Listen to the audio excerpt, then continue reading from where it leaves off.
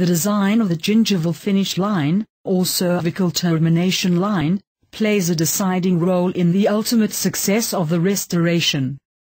The gingival finish line must be easily defined on the tooth, establish adequate clearance for correct contouring of the restoration, readable in the impression and on the die, and facilitate the adaptation of the restoration to the tooth.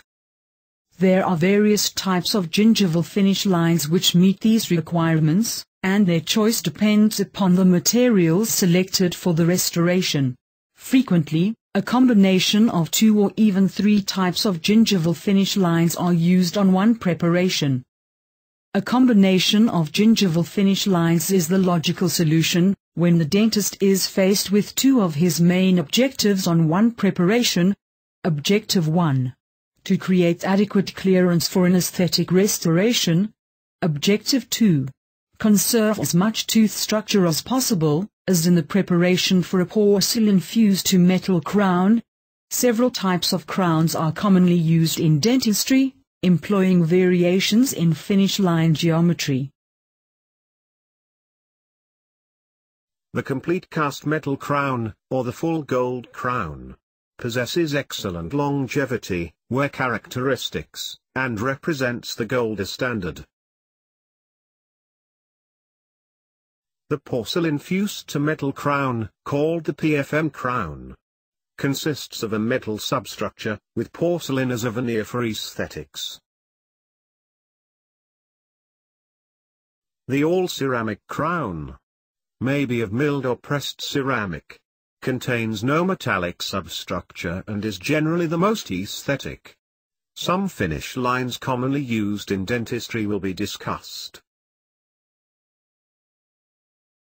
The regular chamfer is a gently curved finish line formed by the round-ended taper diamond Brasseler 6856 type burr when it is held parallel to the long axis of the tooth. It is the ideal finish line for full gold crowns. The wide chamfer is prepared with the Brasseler 6856018 diamond which establishes approximately two times the clearance obtained with the regular chamfer. The use of the wide chamfer is limited to preparations where substantial tooth reduction is necessary to obtain adequate clearance for the restoration. The wide chamfer is used as a gingival finish line, completely circumscribing the tooth. When a PFM, with all surfaces of the crown are to be covered in porcelain, the wide chamfer combined with the regular chamfer is used when porcelain application is limited to the facial surface.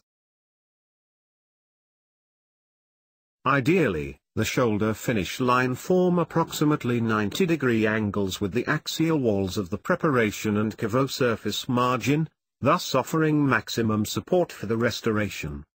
The width of the shoulder varies from 0.5 to 1 mm depending on the size and anatomic form of the tooth being prepared. The shoulder is most efficiently established with the flat-ended taper diamond burr such as the Brasseler 6847016. Most clinicians limit the use of the shoulder to all ceramic crowns or PFM crowns that will have porcelain margins.